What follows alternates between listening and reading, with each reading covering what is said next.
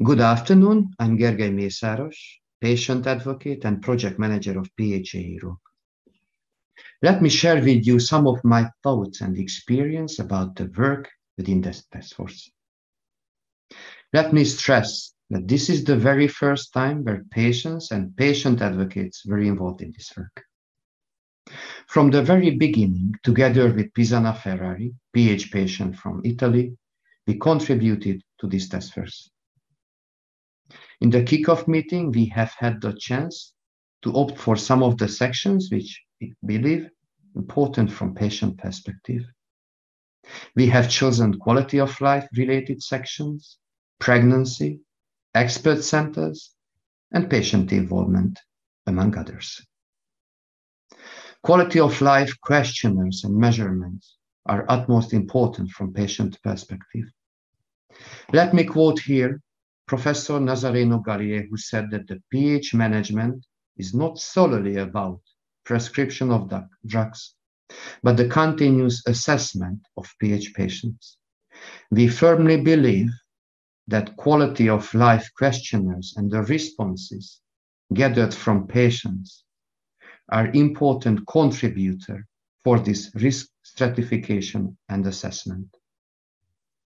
We have a very long discussion about pregnancy. And within the guidelines, we have a compromise wording. And I think we have opened the door a bit. There is always big discussions around expert centers.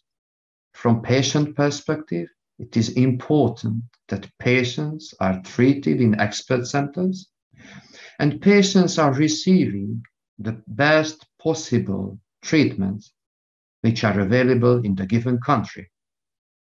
However, there is a big question mark how we define expert centers. There might be qualitative and quantitative indicators and measurements.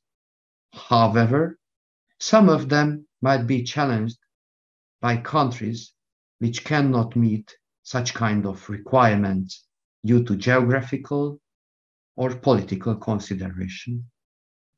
However, this section comprises provisions regarding the core network and the core team of a multidisciplinary team. The section provides recommendation regarding the number of new patients and patients which should be treated in an expert center.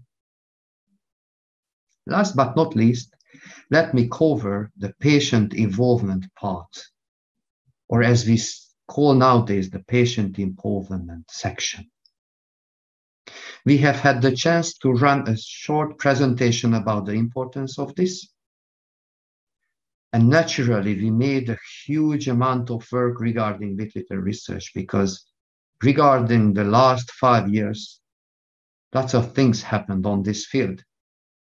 And I can gladly share with you that there's a new recommendation within this section, which clearly says that it is recommended to work together with patient association.